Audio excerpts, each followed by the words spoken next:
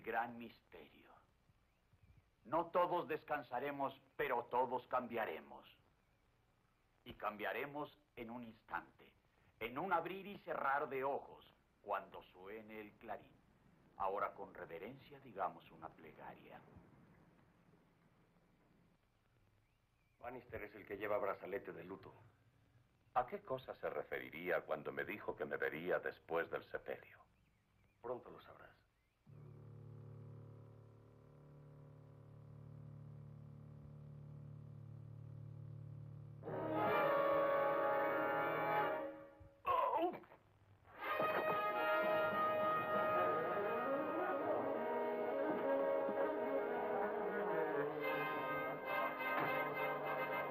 Déjenme pasar. Paso, por favor. ¿Qué ocurrió, sargento? Le dispararon.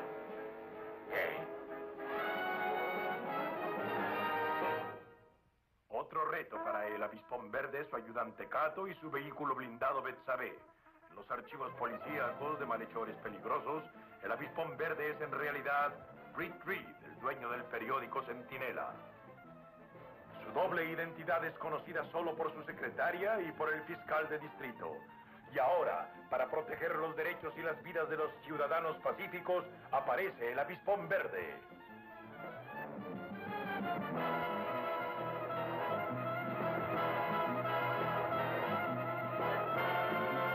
Avispón verde.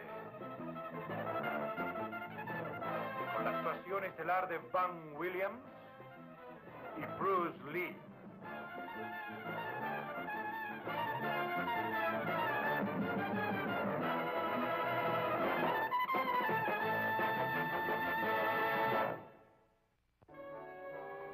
Hoy presentamos el arma silenciosa.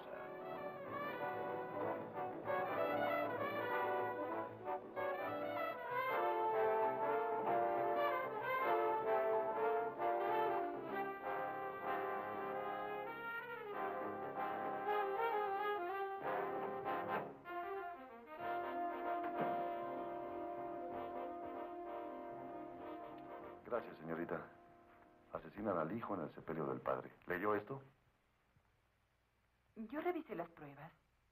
¿Pasa algo? No tiene sentido.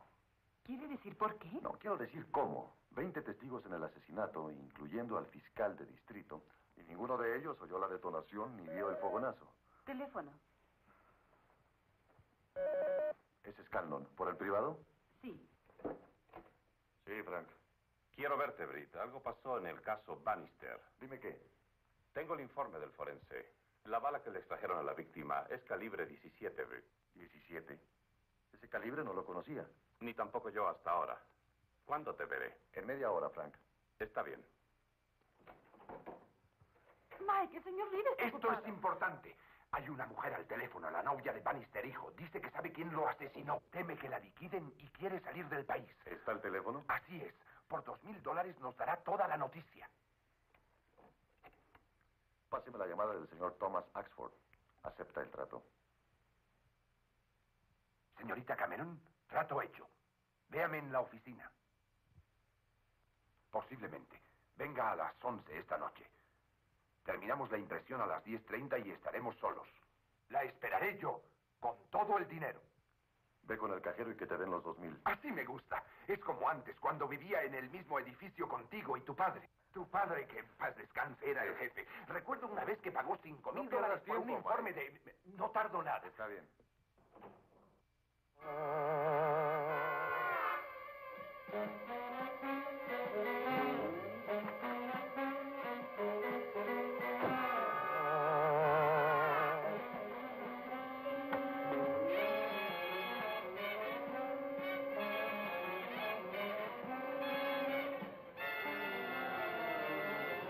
Thank you.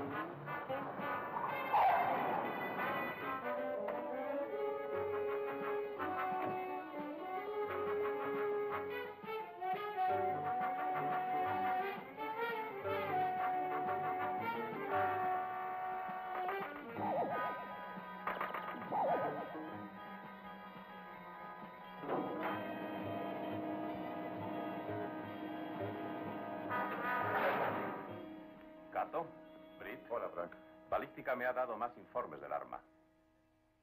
En la Segunda Guerra Mundial, el OSS tenía una pistola silenciosa que usaban detrás de las líneas enemigas. Esta debe ser una de ellas. Eso pensé al principio, pero investigué más y supe que las armas del OSS eran calibre 22 y que no falta ninguna. Pero hay una cosa que sí concuerda. James Bannister, el padre de Dave, era un famoso armero. Y yo tengo algo que concuerda también. La novia de Dave nos quiere decir algo.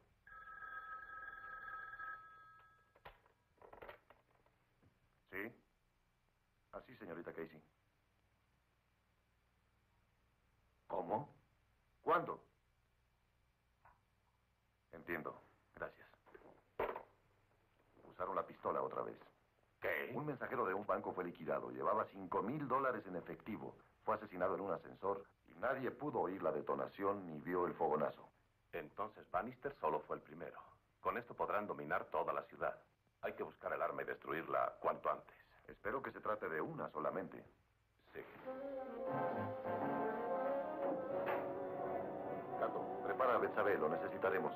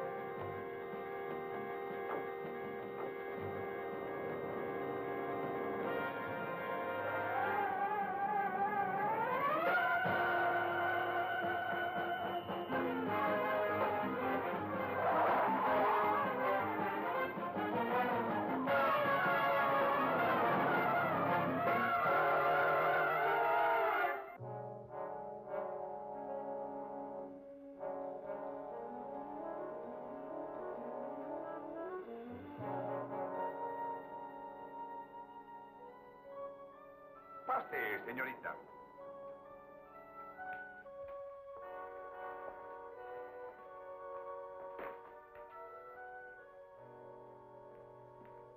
¿Es usted el señor Ashford?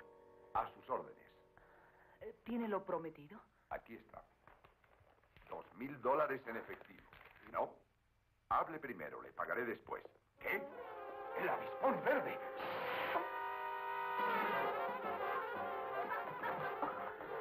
Tranquila, señorita. No le haré daño. Y ahora... Aquí hay cuatro mil dólares. ¿Para qué? Esto es el doble de lo que le iba a dar el centinela. ¿Quién mató a Dave Bannister? ¿Quién le habló de eso? Yo sé muchas cosas. ¿Por qué quiere saber quién lo mató? El arma es lo que quiero y nada más. ¿Quién la tiene? Se lo dijera sería más peligroso de lo que es ahora. Usted es una... Vamos, señorita. Si fuera inocente iría con la policía y no al centinela. El dinero me salvará la vida. Tengo que escapar. Dígame quién tiene el arma y se salvará. Lo prometo. ¿Lo dice en serio? Muy en serio. Le doy mi palabra y esto. ¿Bien? Joe Remer asesinó a Dave. ¿Lo conoce? Trabaja para Al Trump. Así es. Y es un pillo dueño de negocios turbios. ¿Qué tenía que ver Bannister con él? Fue culpa mía. Insistí que tuviéramos dos mil dólares en el banco antes de casarnos. Ambos trabajábamos y ahorrábamos algo cada semana. Pero era lento y no quería guardar Dave. Y trató de ganar más dinero jugando a los dados. Perdió todo su dinero y trató de recuperarlos. ¿Y quién les dio el arma? Dave le dijo a Trump que su padre la había inventado. Se lo ofreció a Trump a cambio de sus deudas. ¿Dave le quitó el arma a su padre? Sí. Cuando supo el señor Bannister lo que había pasado, se lo iba a decir a la policía. Entonces Trump lo arrolló con su auto. Primero dijeron que fue accidente. Y luego liquidaron a Dave para que no fuera con la policía.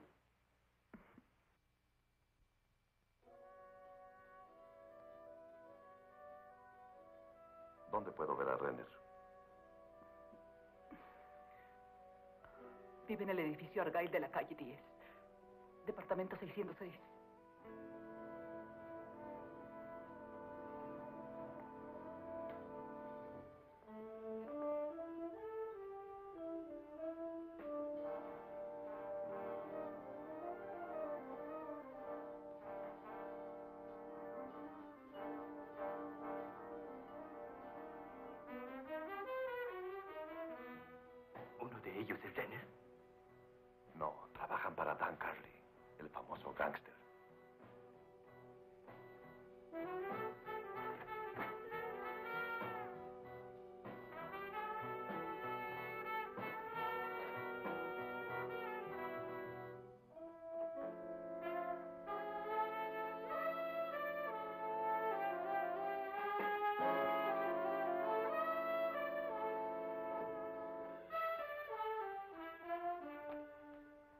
Mira.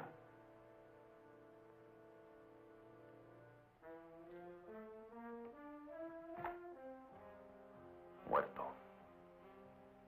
Es Renner. ¿Sabes lo que esto quiere decir? Que Carly sabe lo del arma. Y que si la tiene, Carly llegará a dominarnos. Quietos los dos y no intenten nada. Al, es el avispón verde. Y mató a Renner. ¿Al Trump? Sí. Las manos en alto. Nunca pensé entregar a nadie, pero... Owen, llama a la policía. Diles que Al Trump acaba de atrapar al avispón verde.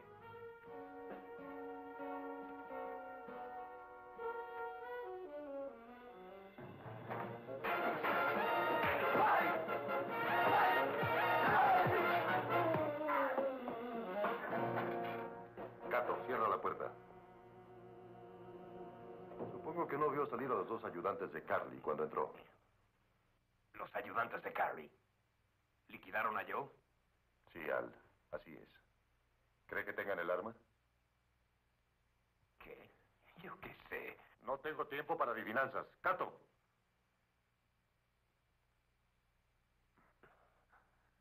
De acuerdo. De acuerdo. ¿Qué quieres saber? ¿Estaba aquí? ¿Tiene el arma Carly? Yo la tengo. Démela. Otros la quieren también. Sí, incluyendo a Carly. Y él hará lo que sea hasta conseguirla. Yo no le tengo miedo. Ni tampoco Benny Roberts y lo liquidó. Ni Lex Carson, liquidado. Smiley Benson, liquidado. ¿No le basta esta lista, Trump? ¿Aún quiere más? ¿Qué espera que haga? ¿Entregarle el arma? Sería lo más seguro, ¿no lo comprende? Claro que hay otra forma. ¿Así? Déjeme tratar con Carly de su parte. Yo tengo un plan. Igual que Lex y Ben. Ya, ya basta. ¿Hacemos el trato? ¿Cuánto quiere? La mitad. Usted quiere robarme. Yo no quiero robarlo, pero si no acepta, morirá Trump. Haré el trato. Movilicen 4.000 unidades esta semana. Dije 4.000, ni una más ni una menos.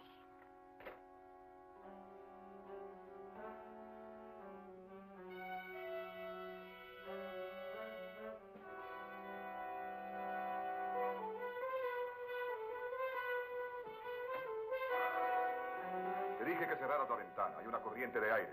Ya la cerré, jefe. Sigo sintiendo una corriente.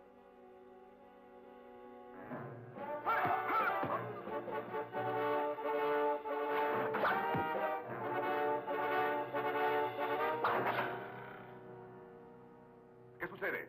Sin trucos, Carly. Vine a hablar de un negocio. ¿Qué quiere conmigo? Tengo algo que tal vez compre. Por ejemplo, Un arma que disparan mortales y certeras balas sin fogonazo ni sonido. ¿Y por qué piensa que me interesaría? ¿Les pregunto a ellos por qué liquidaron a Renner o se lo pregunto a usted? Soy un hombre razonable, pero no soy un estúpido.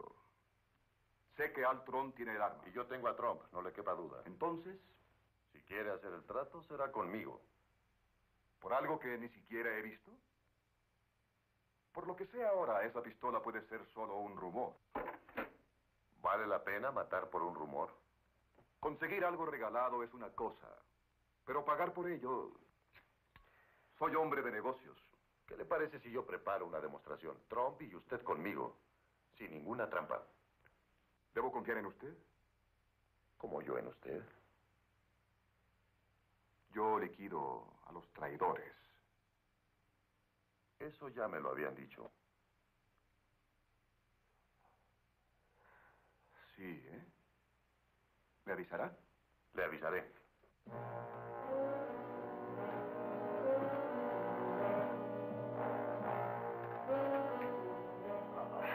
¿Qué pasó? Con guardaespaldas como tú, ¿para qué necesito enemigos?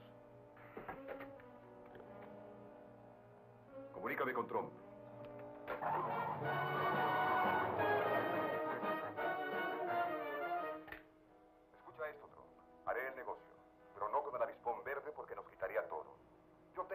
Que puede resultar. Cállate y escucha. Haremos la demostración en una de tus guaridas. Solo que el blanco será el avispón verde. ¿Vas a seguir con tu plan? No hay remedio. Es la única forma de encontrar el arma y destruirla, ¿no te parece? Te expones a ser atrapado, será mejor que te ayude. Gracias, Frank. Pero el avispón inició esto y lo terminará.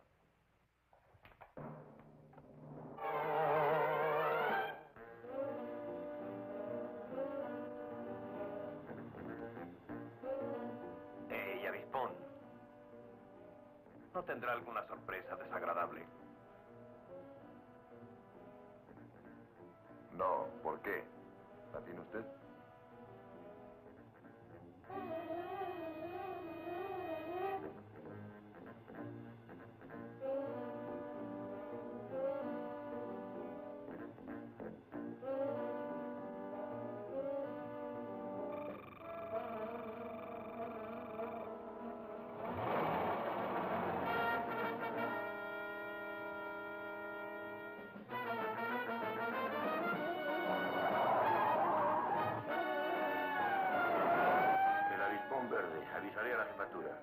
Seguro? Por supuesto. Conozco bien ese auto.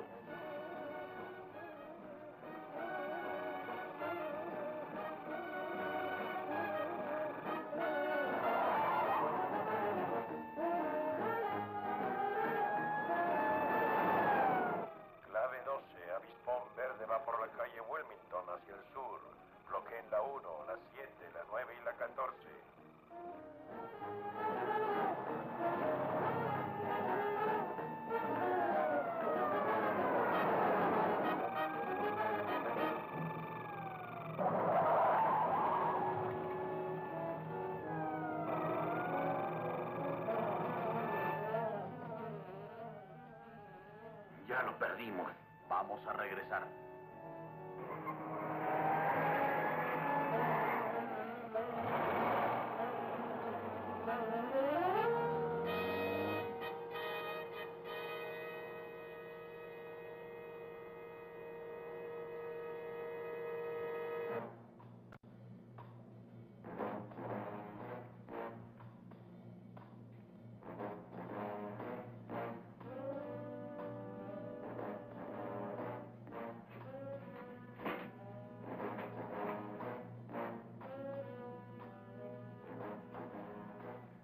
Déjame ver eso. Está bien, señor Carby. No está cargada. Aún.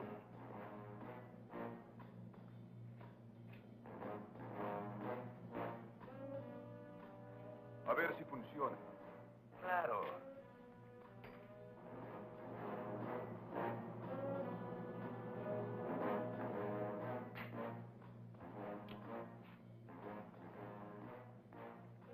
¿Por qué no dispara contra la pared?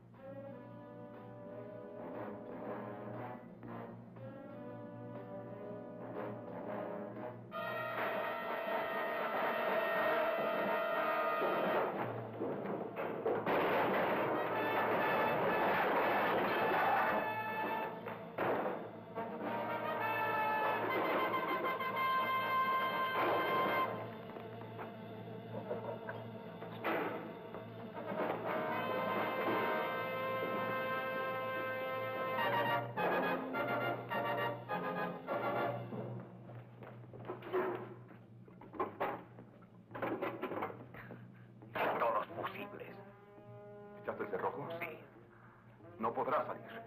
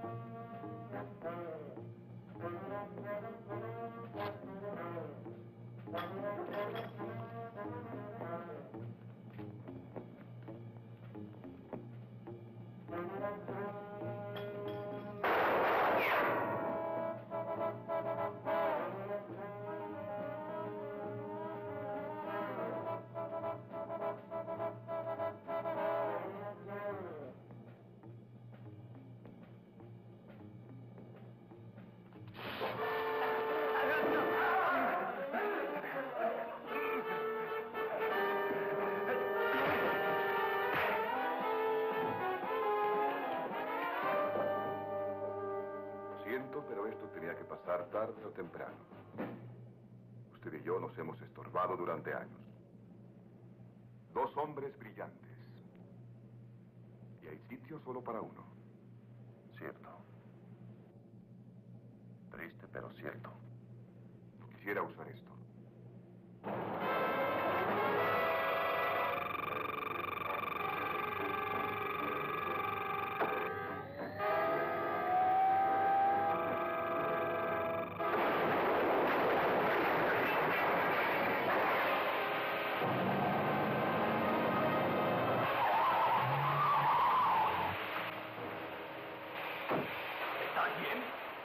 Sí, Cato.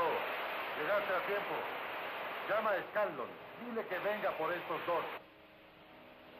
Uno atrasado y el otro en baño, María.